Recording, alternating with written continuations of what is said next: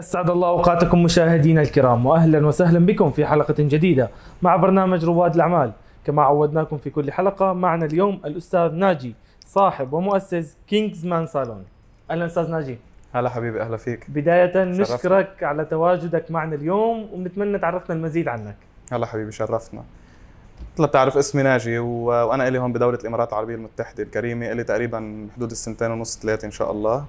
كنت قبلها أنا ابدا ما ما كنت بمجال الصالونات لكون صريح معكم بس أنا كنت من ناحية ال... بحب إني أكون investor بحب إني أكون أفتح my own business على المدى البعيد.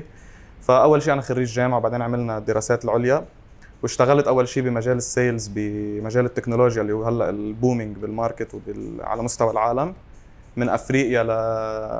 للإمارات بعدين وهلأ حاليا بالإمارات عندي وظيفتي الخاصة. ما شاء الله. أستاذ ناجي بدنا تحكي لنا كيف كانت البدايات معك؟ صراحة هي آه، كناجي ما عندي هدف معين إني أسس شيء معين واحد يعني. ما عندي إذا أنا كنت بشتغل بالتكنولوجيا ما ضروري أسس شيء بالتكنولوجيا. أنا بحب to invest in a place إنه to أعمل ROI بأسرع وقت ممكن وبطريقة إنه أنا أطور من حالي. فكينجزمان أول شيء إجت ببالي إني أفتح شيء خاصه بمجال الصالونات. انه شيء أنا يعني بحب انه يكون عندي شيء خاصه بخدمة الناس ك service أقدم service يعني. تكون service مميزة عن غيري. فكينجزمان هي فكرة أكيد هو غني عن تعريف الاسم هو اسم movie كثير مشهور وله بهيدي ال- المجال. فحتى ال uniform وال style تبع المحل إن شاء الله حينعمل على أساس نفس ال- ال movie. تمام. أستاذ ناجي ممكن تحكي لنا المزيد عن الخدمات اللي بتقدموها داخل الصالون؟ خدماتنا بالصالون يعني مش حقول لك لا تحصى ولا تعد لأنه مع الوقت بدهم يزيدوا أكيد الخدمات ولكن baby steps نحن حنشتغل فيها. فمبدئيا نحن عندنا هلأ أكيد ال fade cuts اللي هي القصات الجديدة والقصات العادية أي حدا شو بيختار الدقن أكيد. أظافر آه، باديكير مانيكير waxing from head to toes يعني كمان مساجات عندنا كمان ال facial care وكمان بنبيع بعض ال products للرعايه باللحية بال- بالشعر بالوجه كل هيدي الأشياء وإكسسوارات للرجال كمان. ما شاء الله. أستاذ ناجي من خلال عملك في هالمجال كيف تميزت بتقديم هي الخدمات؟ تميزك أنت أول شيء بصير بهيدي الخدمة هي إنه تحسس الزبون هو صاحب المحل. صاحب هيدا البزنس. انت ما بدك تحسس الزبون هو جاي زبون ليدفع مصاري. ابدا مش هدفنا المصاري. همنا يطلع الزبون الضحكة على وجهه لأنه هيدي الدعاية الوحيدة لمحل لمحل حلاقه ال hygiene وال sterilization لكل المعدات. اليوم نحن عندنا الشباب اللي بيشتغلوا بالمحل هن owners للمحل كمان يعتبروا. أقل مقص بيستخدم مرة لازم يتنظف دغري وينحط بمكنة التعقيم ما في شيء برا فهذا اللي بيميزنا عن أي شيء ثاني ما شاء الله. أستاذ ناجي لو حبينا نحكي عن المستقبل شو الرؤية المستقبلية للصالون وشو الخطط المستقبلية عندك؟ ك business لا ك business plan لهيدا الصالون إن شاء الله أكيد أنا من هلأ عم بلش فكر إن شاء الله بدنا نفتح بالأماكن اللي ما فيها اكتظاظ للصالونات بعدها جديده عم تعمر بالإمارات. وما شاء الله البلد يعني كل يومين بنسمع في مدينة تانية تعمرت بلد تاني منطقة تانية عم تعمر.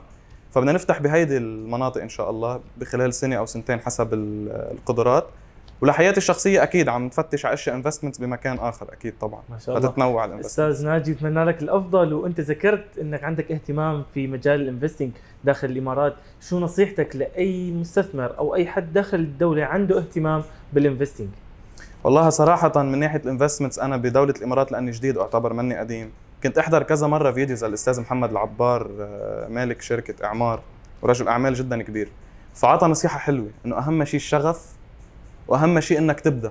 the first step امشي بأول step والله بيكرمك. وإذا كانت نيتك صافية وعندك تفكير صح الله بيكرمك. والبلد ما شاء الله آمنة وما شاء الله يعني مثل عم تشوف أنت كل إشي يعني ال inflation ضارب الدنيا كلها. والتضخم إلا الإمارات ما شاء الله. يعني الحمد لله كل شيء بخير. أخيرا أستاذ ناجي بدنا نعرف ليش اخترت دولة الإمارات لتكون منصتك الأولى وبدايتك في ريادة الأعمال. أول شيء بالإمارات اللي أنا بيعجبني بهالدولة بقيادتها الحكيمة.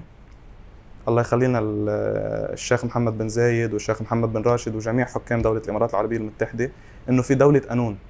ما في تميز بين مواطن وبين أجنبي وبين أي شخص آخر. اللي عنده حق بده ياخده وين ما كان يكون. إلي حق عند فلان بدي آخده حقي.